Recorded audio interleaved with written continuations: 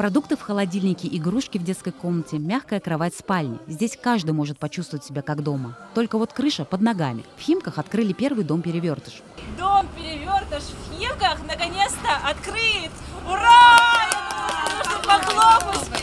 Аттракцион на территории торгового центра «Мега». В доме 8 комнат. Расположены они на 250 квадратных метрах. Самое большое в мире это, это полностью новое наполнение. Дизайнеры также работают над этим домом, чтобы он был совершенно другой от, от всех отличающихся в мире. Э, и он сделан полностью из безопасных э, элементов, пожаростойких.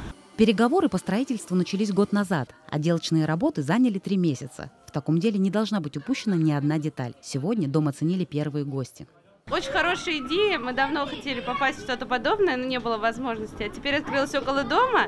И как бы вот мы наконец-то пришли, посмотрели, и это интересно. Ходишь, ощущение, конечно, невесомости есть, но, в общем, здорово. Дом Перевертыш работает каждый день с 10 утра до 10 вечера. Теперь взглянуть на привычные вещи под другим углом может любой желающий. Ксения Брагина, Матвей Шинкаренко, служба новостей.